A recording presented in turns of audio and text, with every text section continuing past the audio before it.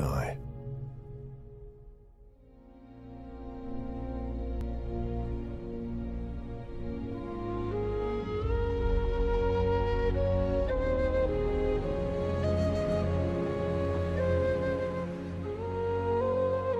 Beginnings. Endings. In between one and the other.